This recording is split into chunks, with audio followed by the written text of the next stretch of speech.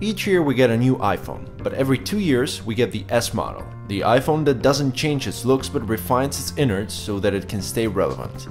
The S line is where Apple seems most comfortable to experiment. This year the company has brought 3D Touch to its iPhone displays. Their cameras have finally seen the upgrade the world was waiting for. Their bodies are also sturdier and less likely to bend thanks to a new 7000 series aluminum chassis. It's not all sunshine and roses. The iPhone 6s and the 6s Plus are noticeably heavier than their predecessors and all of their direct rivals. Apple is also stubbornly sticking with 16 gigs of storage for their base model. So is the jump on the iPhone 6s bandwagon worth it? Stick with us to find out what our tests have to say about that. The iPhone 6s and 6s Plus are visually identical to their predecessors, aside from the letter S that's printed on their backs and the new pink paint job which Apple insists to call rose gold.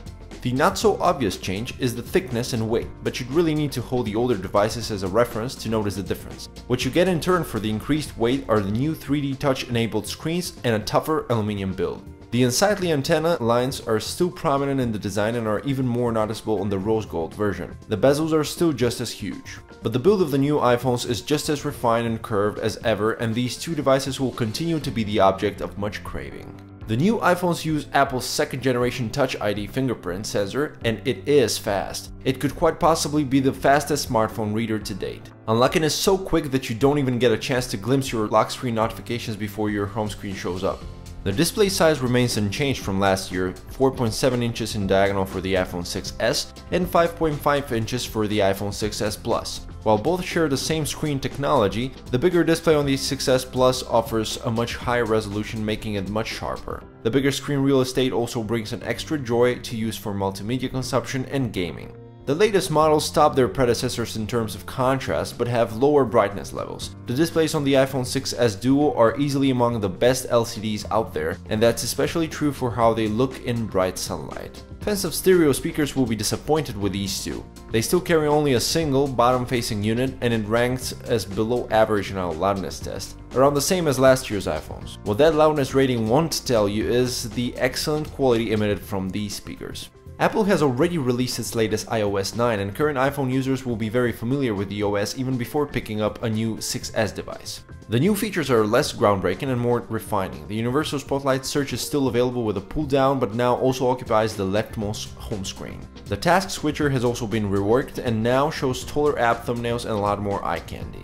With the bigger display of the iPhone 6s Plus, you get a landscape version of the interface within supported apps, but that was available under iOS 8 as well. 3D Touch is perhaps the most important novelty that the new iPhones bring to the table. It makes the layered interface of iOS feel physically real. You get two levels of pressure sensitivity, which enable many features of the OS. You can press hard on a photo or link to preview it, and press a bit harder to open it full size. Apple calls these peek and pop. 3D Touch works on the home screen too. A deeper press on an app will display any quick actions it offers. With 3D Touch, most of system apps will offer you some kind of a shortcut, such as creating an alarm, adding an appointment, or taking a selfie, or even a slow motion video. 3D Touch makes text selection very intuitive as well. A press on the keyboard will allow you to quickly and accurately move the cursor around and a deeper press will start the text selection. Apple's live photos work only with 3D Touch. You activate the animated part with a hard press on the screen, regardless whether it's on the lock screen or in the gallery app. Apps that aren't ready for 3D touch will let you know with a subtle vibration which is part of the new built-in haptic feedback engine. We expect more and more apps to take advantage of the new pressure sensitivity and the potential for gaming is exciting to say the least. The iPhone 6s and 6s Plus are built around the latest dual-core Apple A9 chip and make use of 2GB of RAM for the first time. The result is a high-flying duo that topped our benchmark tables. The only place where the iPhone 6s and 6s Plus were outscored was the multi-core Geekbench 3 test, where the octa-core Galaxy S6 came out on top. Outside of that single core performance of the A9's Typhoon core is unmatched by anything we've ever tested.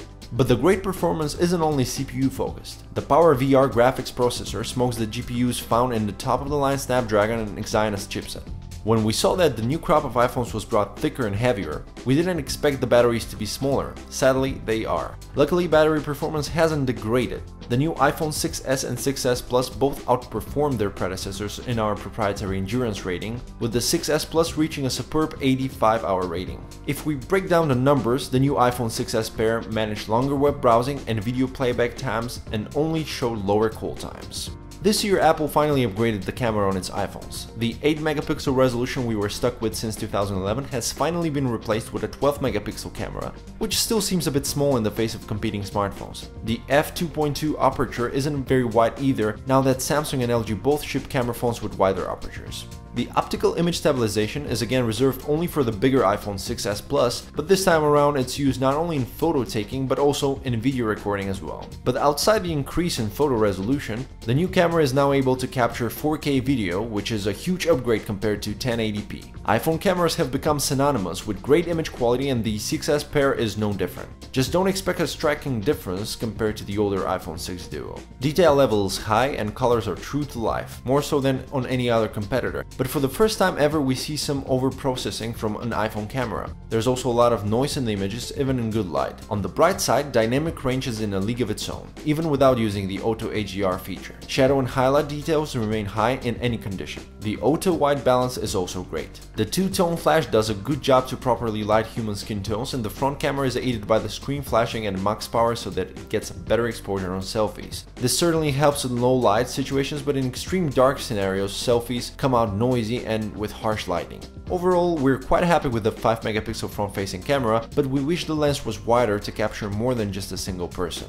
Finally, the iPhone 6s and 6s Plus can capture the so-called live photos. Essentially, these are 3 seconds of 1080p video, complete with a 12 megapixel still. The feature works amazingly well, but it's quite hard to share with somebody out of your iOS circle, and leaving the mode permanently on will quickly fill your storage with live photos of everyday objects you may not need animated.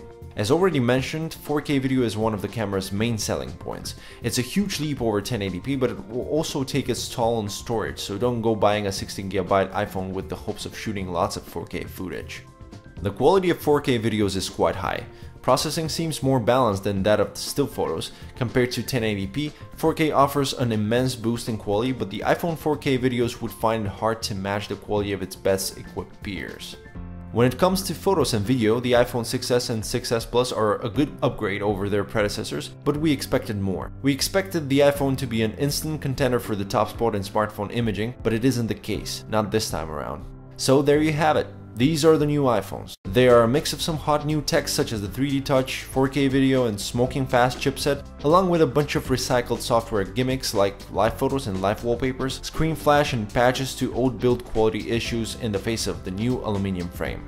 It's a little lackluster of an effort, but also comfortable. An easy upgrade for the iPhone users that want just a bit more power or camera resolution. But as we all know, it's never about the specs with the new iPhones. They're a love it or hate it affair and getting one is a no-brainer if you own any of the older iPhones and you'd like to stick around in the app ecosystem, but you fancy playing with a more recent hardware. As for iPhone 6 users, you might want to wait until the next model comes around. Unless you are only after a bigger screen, in which case the year-old iPhone 6 Plus might just do the trick for you you.